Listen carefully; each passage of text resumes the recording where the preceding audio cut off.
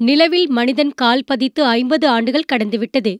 இதை கொண்டாடும் விதமாகவும் விண்வெளித்துறையின் வளர்ச்சி குறித்து மாணவர்கள் அறிந்து கொள்வதற்காகவும் சென்னை பிர்லா கோளரங்க வளாகத்தில் நிகழ்ச்சி ஒன்று நடத்தப்பட்டது. இந்நிகழ்ச்சியை சென்னையில் உள்ள அமெரிக்க தூதரகம் தமிழ்நாடு அறிவியல் தொழில்நுட்ப மாநில மன்றம் இணைந்து நடத்தியது. இதில் கலந்து கொண்ட மாணவர்களுடன் நாசாவில் பணியாற்றி ஓய்வு பெற்ற விண்வெளி வீரர் டோரோதி தனது விண்வெளி அனுபவங்களை காணொலி காட்சி மூலம் பகிர்ந்து கொண்டார்.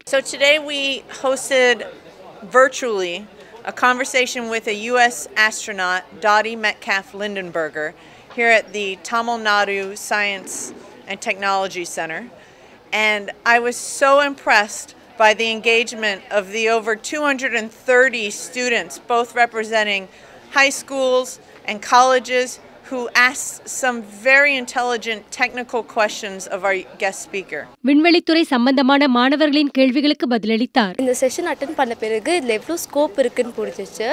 ஸோ ஃப்யூச்சரில் யாருக்கு இதில் இன்ட்ரெஸ்ட் இருக்கோ அட்டன் பண்ணால் it will be easy and step by step சொன்னதால் எங்களுக்கு நல்லா புரிஞ்சிச்சு. அண்ட் நாங்களும் கொஷின்ஸ் கேட்டோம் அண்ட் வாஸ் நைஸ் நிகழ்ச்சியில் சென்னை அறிவியல் நகரத்தின் துணைத் தலைவர் சகாயம் மற்றும் ஐஐடி பேராசிரியர்கள் கலந்து கொண்டனர். இந்த மாதிரி நியூஸ் அப்டேட்ஸ்க்கு தினமலரோட யூடியூப் சேனலை சப்ஸ்கிரைப் பண்ணுங்க. பக்கத்தில் இருக்க பெல் ஐக்கானையும் கிளிக் பண்ணுங்க. ஃபேஸ்புக் ட்விட்டர் இன்ஸ்டாகிராம்னு எல்லாத்தையும் ஃபாலோ பண்ணுங்க.